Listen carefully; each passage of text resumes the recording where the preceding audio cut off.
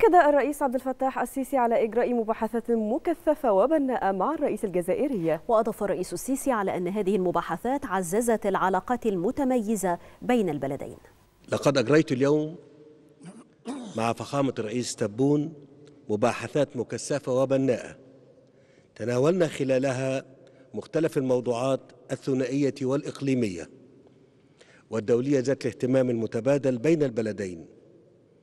وقد عكست المشاورات إرادتنا السياسية المشتركة نحو تعزيز العلاقات المتميزة بين البلدين والارتقاء بها في مختلف المجالات إلى آفاق أرحب وذلك من خلال تفعيل أطر التعاون وآليات التشاور والتنسيق على كافة المستويات.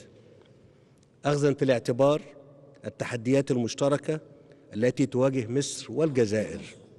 ومنها تحقيق التنمية الشاملة ومواجهة التدخلات الخارجية في المنطقة ومكافحة الإرهاب والفكر المتطرف وصون مفهوم الدولة ودور مؤسساتها الوطنية.